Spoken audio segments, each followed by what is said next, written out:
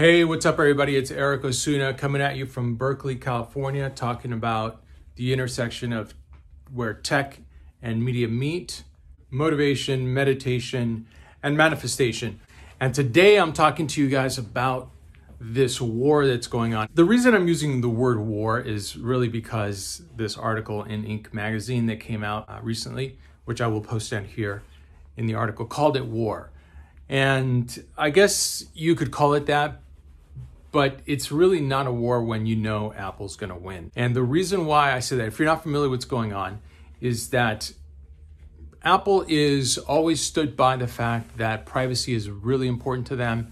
There's been a lot of debate about whether that's true or not. And you know, these giants fight each other all the time. I'm sure you guys are familiar with the fight that Google had with Apple, that continues to have with, with Apple uh, when Google was on Apple's board for a long time. The advent of, of Android. And if you're not familiar with these stories, you can look them up or leave leave some comments and I'll I'll leave some answers. Um, this latest fight that Inc. calls it war, but it's really not a war. It's a battle because Apple is going to win. Apple, as you probably already know, has always been a big supporter of privacy and privacy rights. There's been a lot of debate back and forth on whether that's absolutely true or not, and there's some gray area. But I'm not here to debate that here now. What I am here to say is that Facebook is fighting Apple's new policy changes, which basically describe everything that the app is doing. Now, these are being self-monitored by the app. So if you have an app on on Apple, on your Apple device, you have to tell your user, your consumer, what you're tracking. So if you're not familiar, I'm sure you are, everything that you're smelling, tasting, thinking about, sleeping about, snoring about is known. whatever you do, you know, whatever your habits are, whatever you do, whatever you say, everything is known. Okay? Everything is being at some point recorded if you didn't already know. And the level at which that is done and at, at, the level at which that is disclosed has never been done before. And Apple is now forcing that on applications. So Facebook is part of Apple. Uh, you're probably watching this on your Apple device, maybe. Because Facebook is operating on Apple's platform, they have to comply. I'll take a screenshot and show you guys what that looks like. So you'll have to now opt in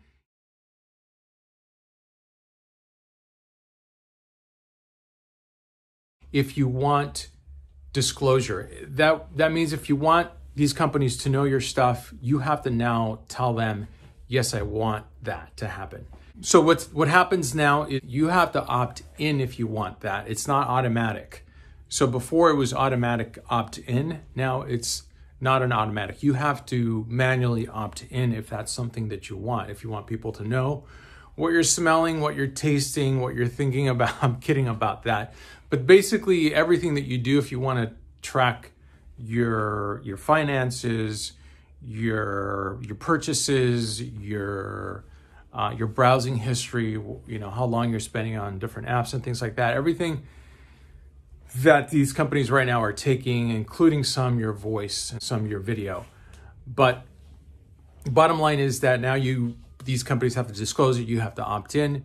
And Facebook takes so much of this information, they utilize it for their advertisers, which you, you guys probably already know this, just to make sure to put it out there, because I have all types of people following this channel, from novices to people that are in the industry. So I'm going to just be general about different areas that I talk about. Right now, what happens is that you are the product you are what they sell.